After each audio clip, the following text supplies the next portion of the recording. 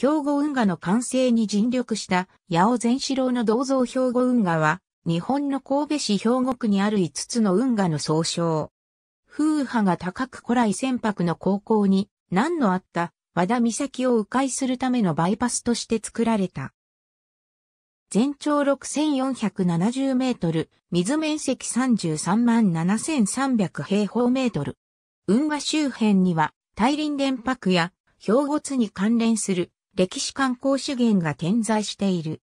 兵庫運河の建設は、明治に入り神戸の貿易の拠点が兵庫港から神戸港へ移ったことを受け、兵庫港周辺の経済活動を活性化させる目的で神戸の商人神田平右衛門が中心となって計画された。神田らは1874年に工事に着手したが難航し、1875年5月、または1876年に船舶の避難地である新川運河が完成するにとどまった。その後、八尾善四郎が中心となって1896年に再度工事に着手し、1899年12月に運河全体が完成した。この工事により、和田岬を避けて、須磨、駒ヶ林方面と兵庫港との間を航行することが可能となった。仮茂島は、この工事で排出された土砂により、大阪湾を埋め立てて造成された。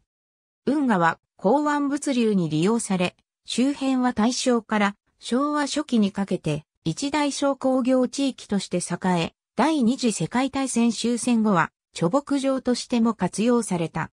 そのため、光や潮の流れが阻まれるなどして、油やゴミが浮き、生き物が住めない環境となった。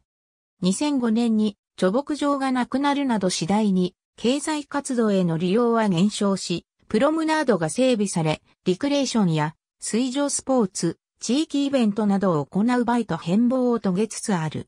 兵庫漁協が2012年からアサリの養殖を始めた。アサリなどの二枚貝は水をろ過しきれいにし、アサリの卵や稚貝は他の生き物の食料となり、魚が住みやすい環境となる。また、2015年より、里山の手入れで出た竹焼きを運河に沈めて、イカやエビの住処を作る実験も始めた。ありがとうございます。